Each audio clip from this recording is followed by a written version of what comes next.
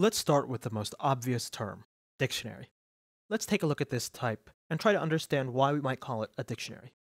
In this cell, I've created a dict using the dictionary's literal syntax. I have curly braces, then a key, a colon, and a value. In this example, the keys are strings and the values are strings.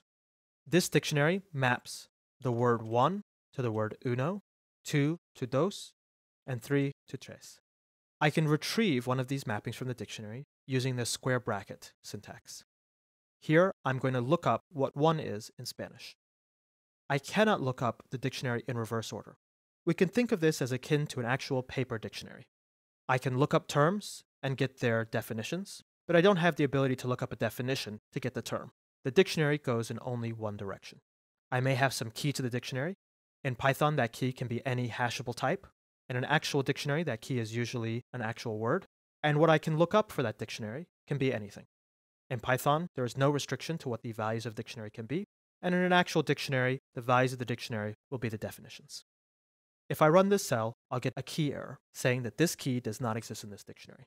As we noted, we cannot look up the contents of the dictionary by values. Notice this is the same error I get if I try to look up an element that is not part of the dictionary. Notice this dictionary has only 1, 2, and 3 and does not have an entry for 4.